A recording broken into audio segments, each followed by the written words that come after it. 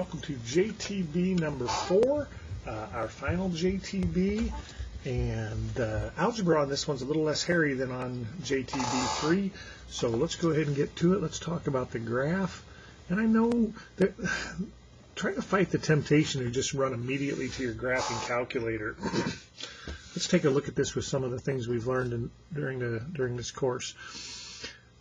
If this is a fraction, a rational function, then the only way it can be zero is if the numerator is zero, and the zero numerator is only zero when x equals zero, and zero does not make the denominator zero, so this is a zero. Not only that, it's a single zero, so the graph either passes through it or passes through it like this. You know, think about like that's our mole man zero. The street, the mole man can only visit the street people through this manhole cover right here. Now, as x gets really, really big in model behavior, we get a big negative, but over a much bigger positive. Negative over positive is negative. Little over big is trying to be zero. This graph wants to get sucked into the x-axis from below. And if we think about that, that means the graph is going up, but cupping down. Therefore, the first derivative way to the right is going to be going up, positive, while the second derivative, cupping down, is going to be negative. If all works out, we'll see. Big negative. Big negative gives me a big positive, but over a much bigger positive. So relatively speaking, we've got a little positive or a smaller positive over a much bigger negative. It's trying to be, nope, smaller positive over a much bigger positive it's trying to be zero, but positive divided by positive, positive.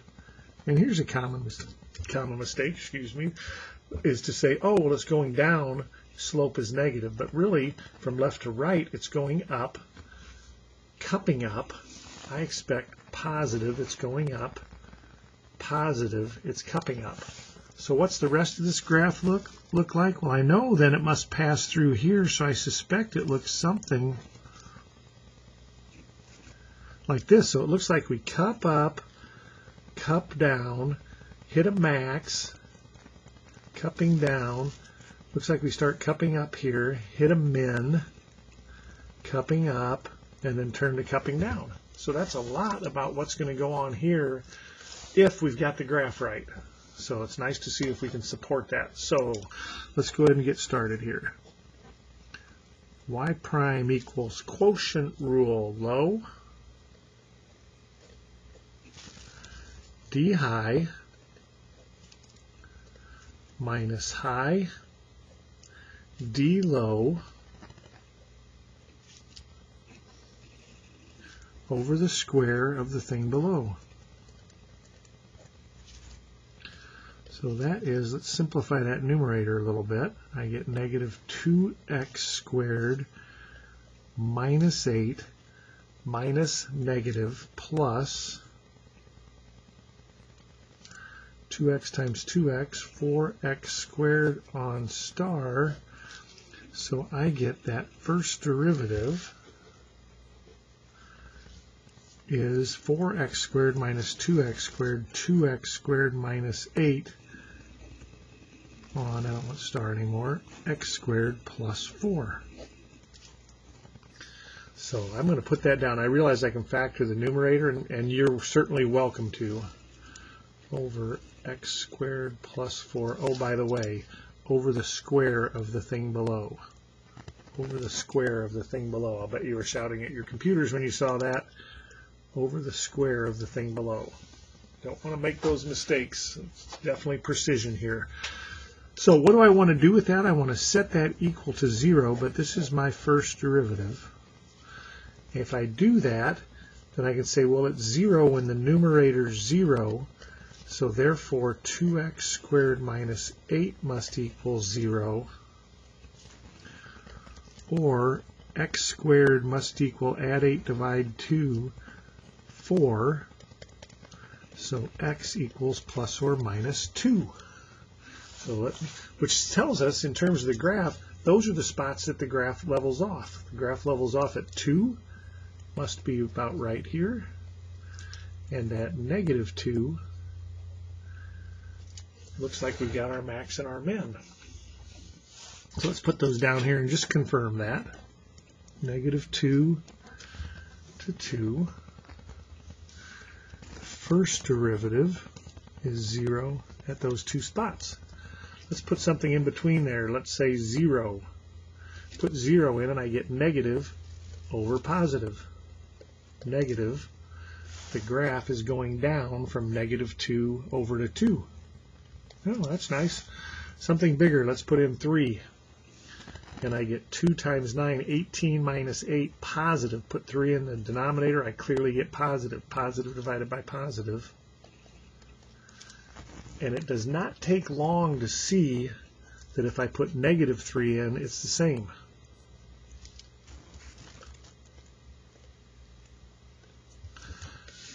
Kind of an interesting case going on here. It appears as though our, our function is odd and the first derivative of it is even. Okay, okay y double prime, second derivative, low, x squared plus 4 squared, d high times 4x minus high, 2x squared minus 8, d low, sorry, D low, careful, chain rule this, outside derivative, or treat the mama to something to the first, leave the baby alone, treat the baby to x. All on star. Let's work to simplify that a little bit. I'm actually not going to distribute and FOIL all this. You'll see why here in a second but I can write that as 4x times x squared plus 4 squared minus, let's see, I've got a plain old 2 times a plain old 2x, 4x, that's nice, I've just matched a factor. I'm going to put the x squared plus 4 next. You'll see why if you don't already. And left with a 2x squared minus 8, which actually factors more. Um, I'm not going to, and you'll see why on that as well if you don't already. Now out of the top, I have two terms, this term and this big messy term, but they share a 4x factor. I'm going to factor 4x out. They also share a single factor of x squared plus 4. I'm factoring it out. If I take a 4x and an x squared plus 4 out of here, I'm left with a single x squared plus 4. I didn't take out a minus. If I take the 4x out, this is gone. The x squared plus 4 out, that's gone. And all I'm left with is 2x squared minus 8. Likely mistake not to put that parenthesis there and forget to distribute that negative to that 8. And all of that is divided by star. Okay, getting there.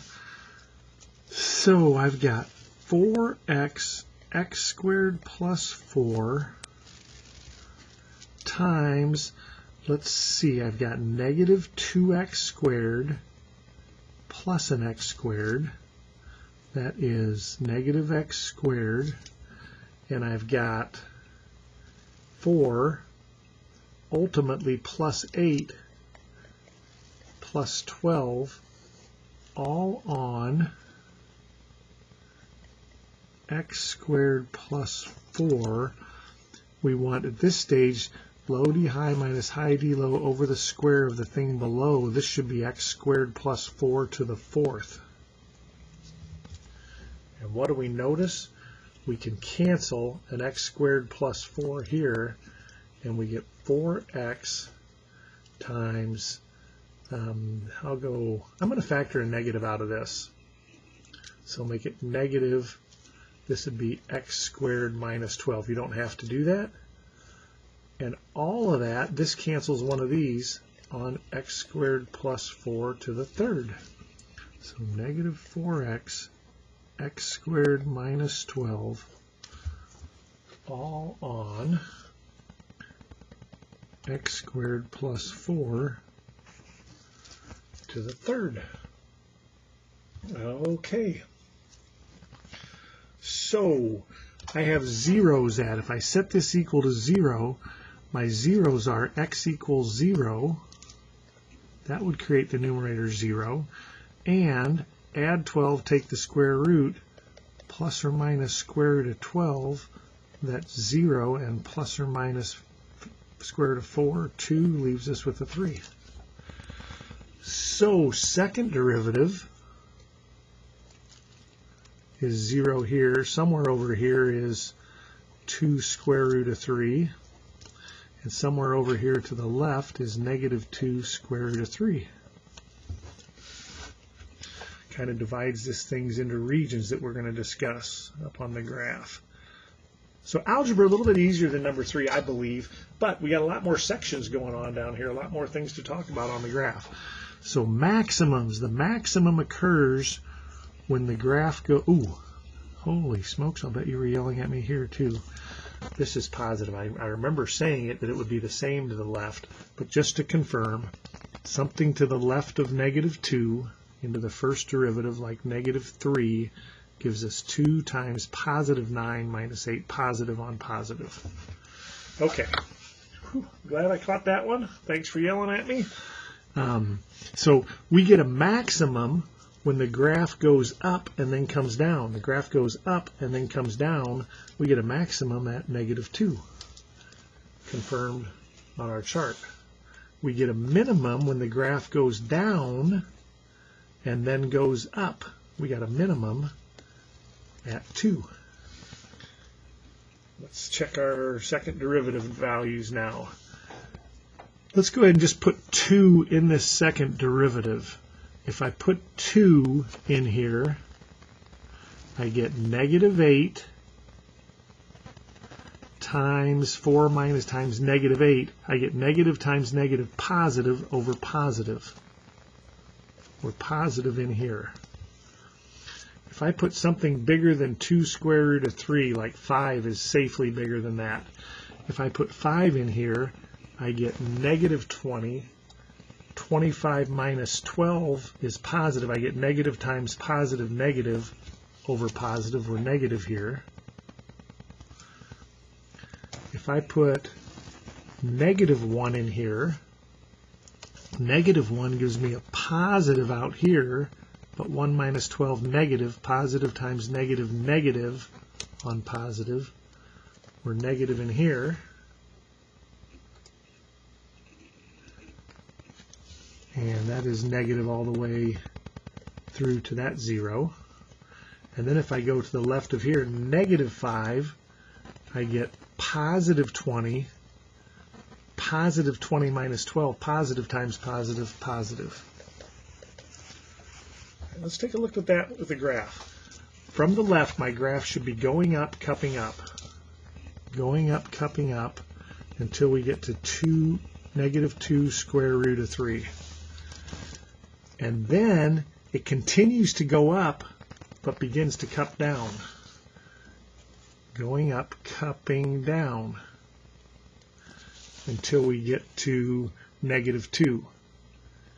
After that, we're going down, cupping down, going down, cupping down until we get to 0, at which point we're going still going down, but we start cupping up, going down, cupping up, until we get to 2.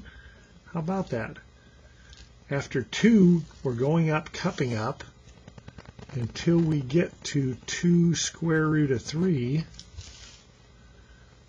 And after that, we're going up, cupping down. Going up, cupping down. Wow, I feel really good about that graph. Okay, inflection points. Where does the concavity change?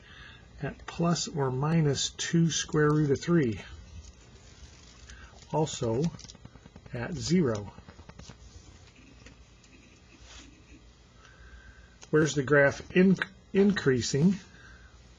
The graph's increasing when the slope is positive. The slope is positive from negative infinity until I get to negative 2 in union with looks like 2 until infinity.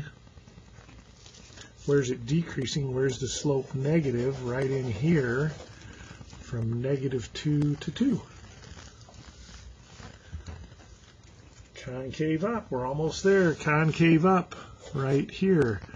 Negative infinity until I get to negative 2 square root of 3 in union with right here 0 to 2 square root of 3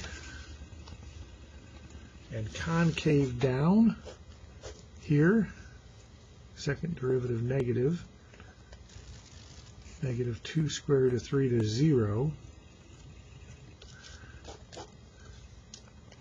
in union with 2 square root of 3 to infinity. Easier algebra, but definitely more going on with different changes in here. We have one, two, three, four, five, six different kind of six different little regions where we, we make little changes, whether it be a whether it be a maximum or a minimum or a concave change. So, so kind of a kind of an interesting problem, and really nice one to wrap up on here. And uh, let me know if I can help with with this. Again, reminder on this: I'm expecting all of these to be correct, and I'm expecting work to support your derivatives. So without that, then it's gonna then, I'll, then it's gonna be a redo. Okay, um, good luck and stay in touch.